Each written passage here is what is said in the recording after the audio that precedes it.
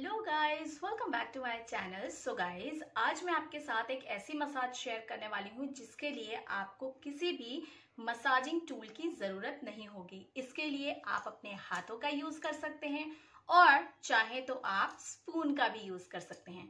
आज मैं मसाज करने वाली हूँ स्पून के थ्रू स्पून की हेल्प से हम मसाज करेंगे। जो कि हमारे स्किन को लिफ्ट करेगी एंटी एजिंग का काम करेगी स्किन को ग्लो करेगी इंटरनली हमारे सेल्स को रेजुविनेट करेगी, जिससे कि हमारी जो स्किन है वो यंग रहे और डी पफिंग हो जाए। तो यहाँ पर अब मैं आपको ये मसाज करके दिखाने वाली हूँ। चलिए हम लोग शुरू करते हैं। मसाज शुरू करने से पहले आपका फेस क्लीन होना चाहिए, मॉइस्चराइज होना चाहिए और आपके जो स्पून हैं, वो एकदम क्लीन होने चाहिए।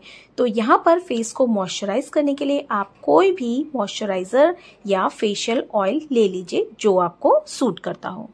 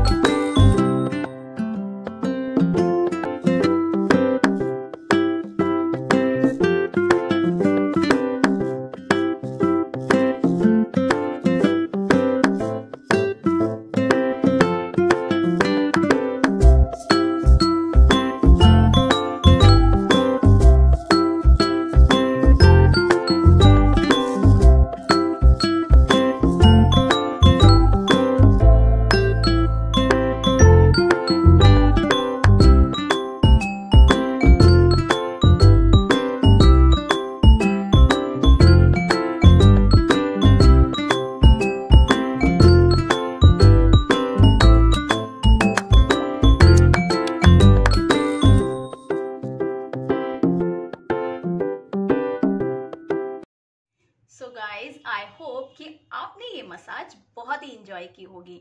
और इसी तरह के और भी वीडियोस के लिए आप मेरे चैनल को सब्सक्राइब कीजिएगा। पास में जो बेल आइकन होता है, आप उसे भी प्रेस कर दीजिए ताकि आपको मेरे सारे वीडियोस के नोटिफिकेशन आराम से मिल जाएँ। और इस तरह की मसाज को आप करके अपनी स्किन को यंग रख सकते हैं फ्रेश रख सकते हैं ग्लोइंग बना सकते हैं और अपने स्किन को लिफ्ट कर सकते हैं। तो ये बेस्ट मसाज है। अगर आपके पास कभी कोई टूल नहीं होता है तो आप अपने किचन से स्पून लेकर या अपने हाथों को यूज़ करके इस मसाज को कर सकते हैं। सारे ही स्टेप्स को बहुत आराम से फॉलो कीजिएगा, आप इजिली ये मसाज कर पाएँगे। तो मिलते हैं नेक्स्ट वीडियो पर। Till then bye bye take care thanks for watching